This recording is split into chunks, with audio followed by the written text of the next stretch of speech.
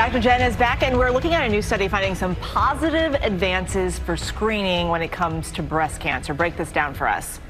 Yeah, so um, this was a very small study 25 women with known breast cancer, just published in the journal Radiology Imaging Cancer, using a, a, new type of imaging technique for breast cancer detection. We already use it for other types of cancer uh, called a PET scan, po positron emission technology. This using that overlaid with a mammogram to look for metabolically active tissue, i.e., tumors, um, to therefore help reduce the rate of what we call false positives. Now, people have heard that term before. What that refers to is something either on mammogram or MRI or even an ultrasound that looks like it may be a cancer, but on biopsy turns out not to be.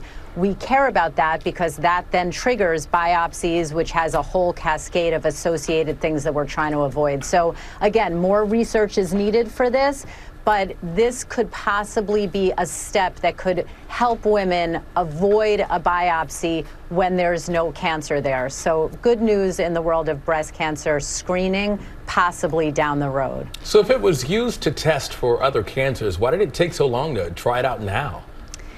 Well, you know, we've said before, cancer is different every part of the body that it affects. And when you talk about screening imaging tests for cancer, remember that that's just a visual image. That has to be confirmed with a tissue specimen or a biopsy. So uh, breast cancer screening and confirmation is different than other parts of the body.